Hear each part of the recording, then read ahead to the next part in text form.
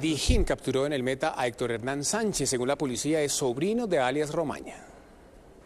Este es Hernán Sánchez Gómez, según la Dijín, sobrino de Henry Castellanos alias Romaña, integrante del Estado Mayor de las FARC. Junto a él fueron detenidas 10 personas señaladas como integrantes del Frente 40 de las FARC. La operación se adelantó en el municipio de La Uribe y en las inspecciones La Julia, El Diviso y La Pista. El grupo terrorista delinque en el departamento del Meta y hace parte del bloque oriental al mando del Mono Ojoy.